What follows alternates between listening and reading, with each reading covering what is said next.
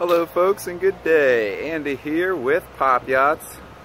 Looking at a nice and clean 1991 Sea Ray 270 Sundancer. This is the same hull as the 92 290.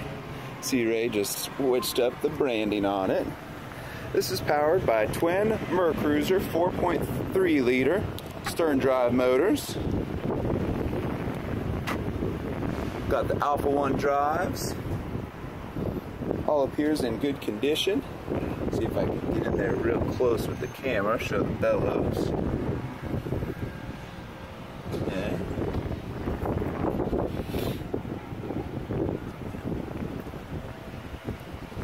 It's got a new Garmin, GPS, chart plotter, and sonar. Some updated LED lighting back here on the swim platform, the navigation lights, and then also courtesy lights on deck. Little bump in the gel coat. Looks to be all superficial. Great overall condition for the age. The full enclosure with camper screens, clear isinglass, and nice blue canvas was all replaced a year ago. It does have bottom paint. If keep it in the water, you may want to reapply it. This is normally stored high and dry at a marina.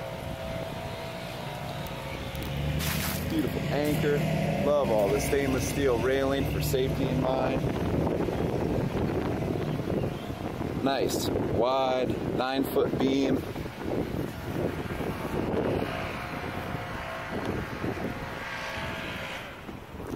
Now with the drives trimmed up, you've got a 21 inch draft. With them down, it's three foot one inch. If you plan on trailering this or keeping on a boat lift, dry weight is rated at 5,800 pounds.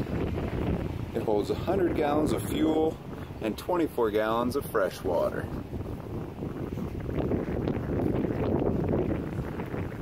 Easy access with the swim ladder we got flush outs for both motors.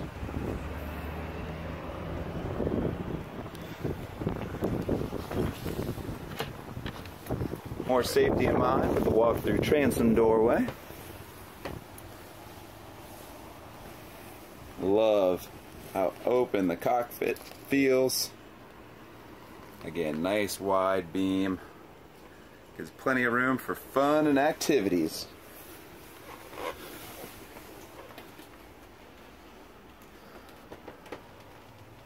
Low profile grab rail at the transom.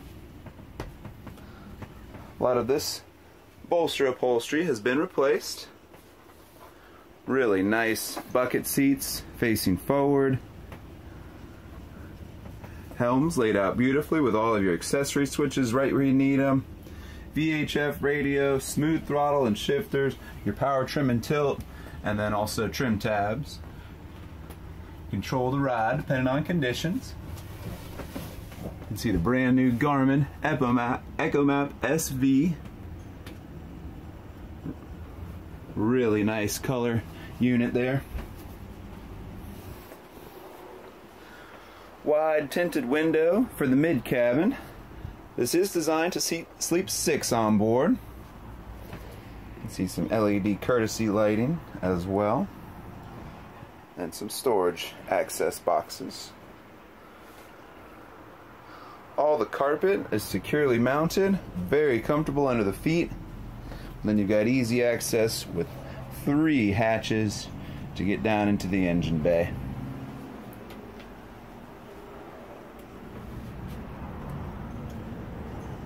Grab rails up on the bow. Solid door for the cabin.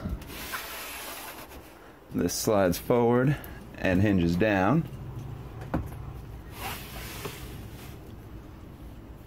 Breaker panel over to the left. This has the dinette table. These 270s either came with a lounger or a table, which I think is very versatile. If you don't need all the tabletop space, this flips up, those tuck in, and you got some cup holders as well. Great for entertaining. All the upholstery is original and in excellent condition. No tears or stains to note anywhere. Storage underneath this bench seat with three drawers on the front. And then under here is the air conditioner, which runs off of shore power.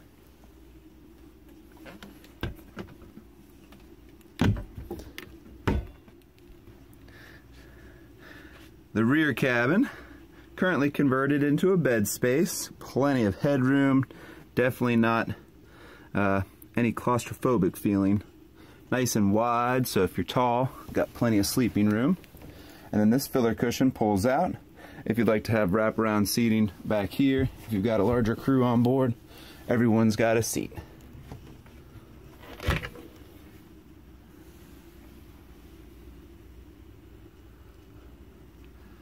Nice job on the wiring of these. You've got your 1000 watt inverter and then battery extenders too.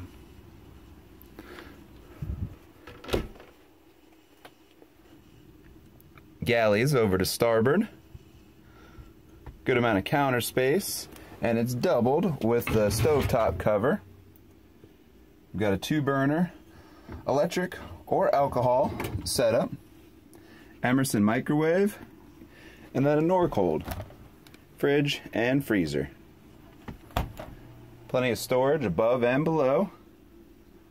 And behind this mirror, nice size hanging locker for extended trips on the water. Always good to have a change of clothes. And a massive V-berth. Love the natural lighting coming in through the tinted forward hatch.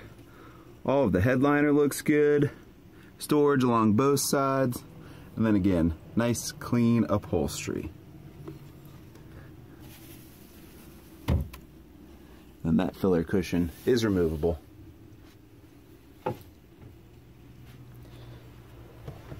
Onboard head.